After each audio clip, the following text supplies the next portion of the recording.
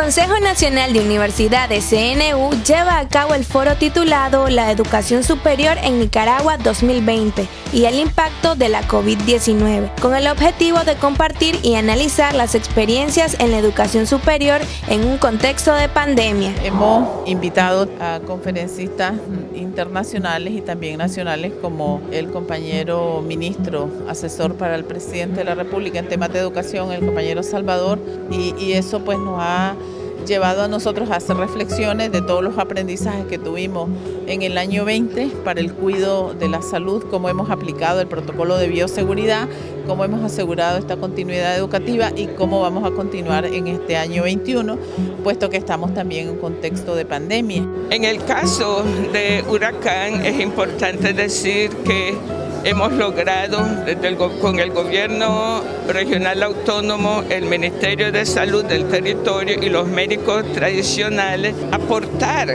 desde la colectividad en la atención al COVID. Es tanto así que los médicos occidentales iban al Canal 5 a compartir la importancia que se estaba logrando con la articulación con los médicos tradicionales. Huracán, desde las gestiones de rectoría, ha consolidado un modelo excepcional para prevenir la pandemia del COVID-19, priorizando espacios seguros para recibir una educación pertinente y de calidad. Mediante la formación que ha impulsado nuestra magnífica rectora en el sentido de capacitar a 178 profesores un curso de certificación en docencia virtual y tener nuevas herramientas para los procesos de evaluación, una calidad que estamos en la búsqueda del acercamiento de un concepto propio de nosotros mismos como institución de educación superior intercultural. Poder organizarnos de la manera que podemos responder a cada uno de los estudiantes en nuestro contexto.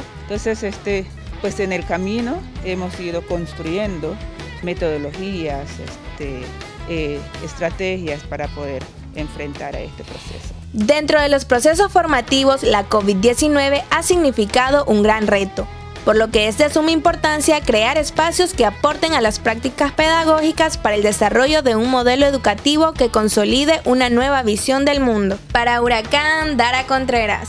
Huracán, la primera universidad comunitaria intercultural en América Latina.